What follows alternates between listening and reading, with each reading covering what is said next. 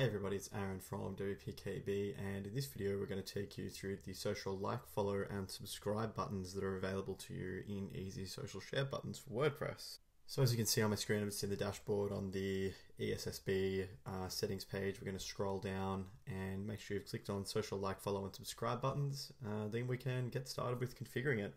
As you can see here on the website, we've already got the standard share buttons there set up.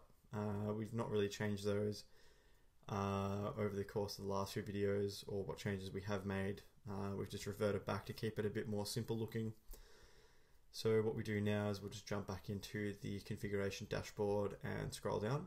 Uh, the first thing you need to choose is if you want to show those like, follow and subscribe buttons on the same line.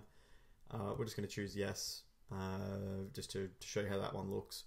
The next option is to apply native button skin. now that will just hide the native buttons inside a nice flat style box uh, and show them on hover. It uh, probably looks a little bit better in my opinion. Then you to choose the native button skin. You can choose flat or metro. Uh, I think we've got metro at the moment, so we'll choose that.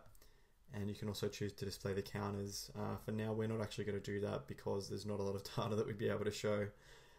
Uh, and then just after this, we get to drag and drop the order that we want them to appear in. So what we'll do is we'll say when move Facebook to the front I'll leave Google there. And for the rest, we just won't change that.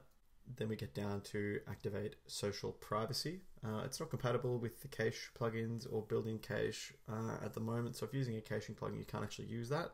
Uh, so we're just going to skip over that really for now. We'll get down to the Facebook like slash follow button. Uh, now, if you want to have a like button there, you can choose simply like that. Uh, if your site's already got the Facebook API loaded in, you would select this box here. Uh, ours, we don't, so we're going to leave that unchecked for now.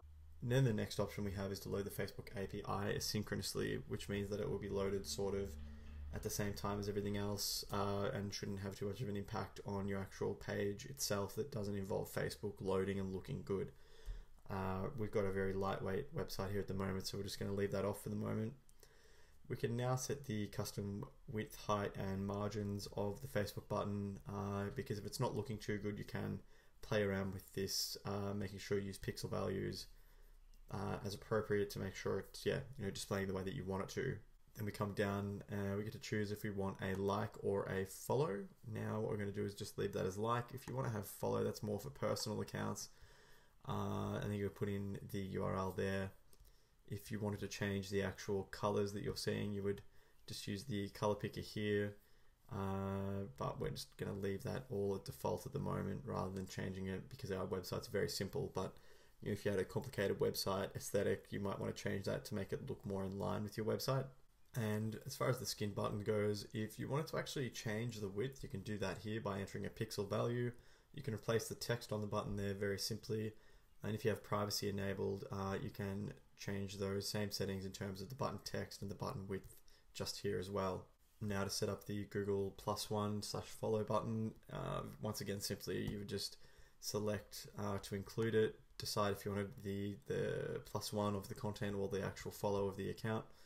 We'll go with follow for the moment. You can put in that URL uh, of the profile page. Again, you can change the color of all of that as well as changing the width and text on the button both in default and in privacy mode. Now we get down to uh, vk.com settings. Yeah, you can choose to include that if you want. We're just going to leave that off for the moment. You do need to set up an application here. So if you were going to use vk.com, you need to put in your application ID there. Uh, once again, buttons and the actual width and text available on the buttons uh, in default and privacy mode is also featured here below. The next, again, for Twitter, it's pretty much exactly the same. Do you want a tweet or a follow button? Uh, choose yes if you want it. Uh, we're going to leave that on follow. We've already got a tweet button on there. Follow user. We're going to put in our Twitter account just like that. Uh, and again, you can here choose to change the color, the you know button width, text, and so on. Uh, then you can choose to set up the YouTube button. We're not going to here, but again, these settings are exactly what you've just seen before.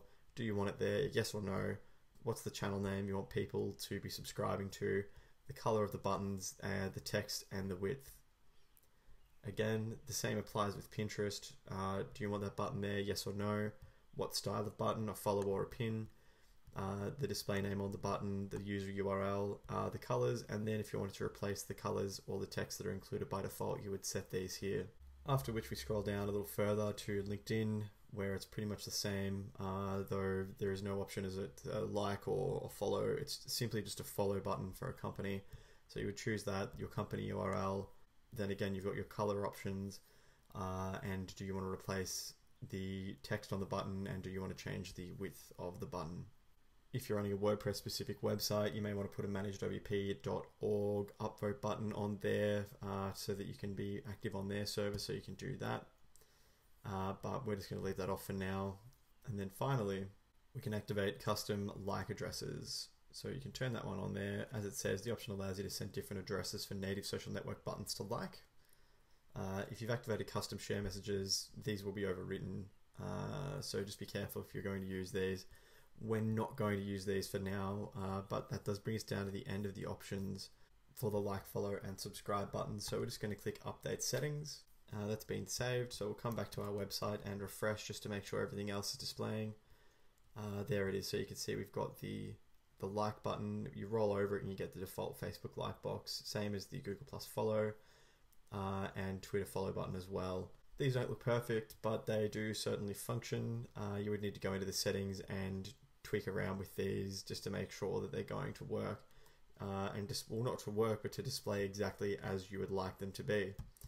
But that's the end of this video. If you have any questions about what we've done, please feel free to ask in the comments below. Otherwise, if you've enjoyed the video, hit subscribe for more.